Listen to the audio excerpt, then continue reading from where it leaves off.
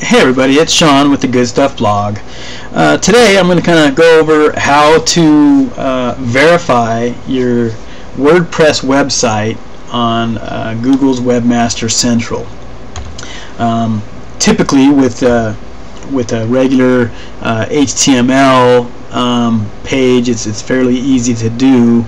Um, however, with uh, WordPress it gets a little bit more complicated and um, I had a, a, real tough time uh, finding the right uh, information when I was researching it so hopefully this will uh, be uh, a resource that'll help you out and uh, you won't have to spend as much time as I did.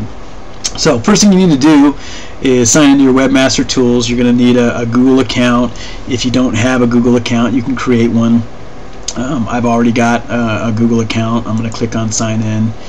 Um, and I've got uh, the, the page open now. This is my the, the home page for Google Webmaster Tools. And you're basically just going to want to go right here to add a site. And you'll see I've got my main uh, site, the Good Stuff blog, has already been verified. I did a test site here um, that uh, I was just playing around with. Evidently, it's stuck there now. Um, I'll I don't know if I can delete it or not. Later on, I'll worry about that. Um, this is the website uh, for my other uh, my, my, other website I have, uh, continuouslyimprovingyou.com. It's a, a, website focused on personal and professional development, um, and that site hasn't been verified yet. So if I was going to go ahead and, and, verify this site, uh, or if I was going to add it, I'd go here and click on Add a Site,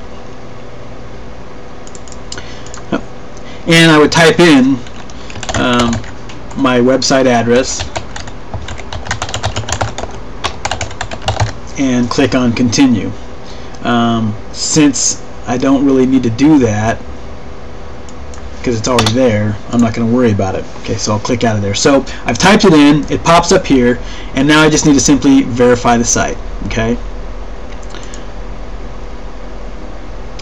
So here we're at the verify ownership uh, page that I had described in the blog post. Um, site URL, uh, continuouslyimprovingyou.com.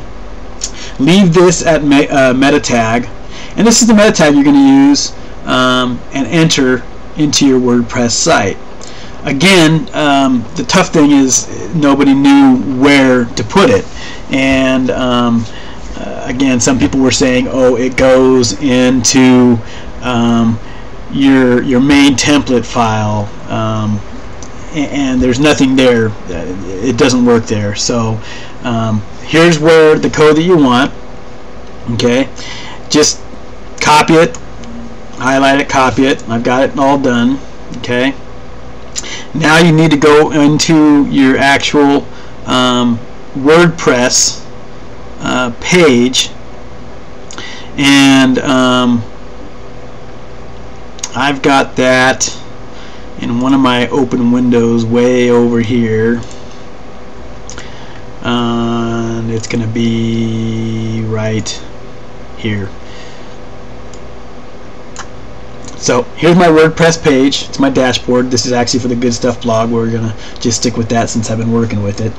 Um, and on your left hand side here you've got uh, all your different functions and tools that you'll need to, to work with your WordPress page if you aren't already familiar with it. Uh, you go to Appearance, click on Appearance, click on Editor, okay, and here you have your Edit Themes opens up. Uh, go ahead over here to your far right and click on Header or Header PHP. It's a file you're going to enter this, this meta tag in.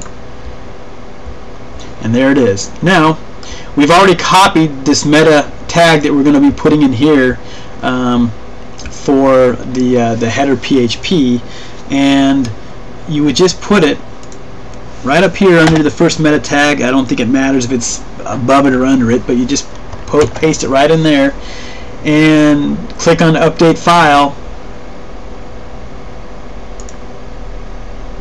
Okay file's been updated then you go back here and click on verify. Again, this is not going to work. Um, I'll go ahead and click on it and you'll see that it's not going to work. It's going to just come back as not verified.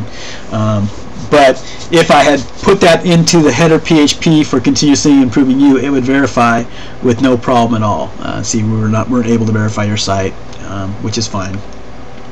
Um, so I'm gonna click on verify later. So there it is. That's how you do it. Um, hopefully uh, that, that's uh, clear enough for you and and again will will uh, help you out when you go to verify your WordPress site. It's not the most intuitive thing in the world to do. And uh, good luck with it all. If you have any questions uh, don't uh, hesitate to leave me a post and and I'll answer the questions if I know the answer. If I don't know the answer I'll do my best to research it. And take care everybody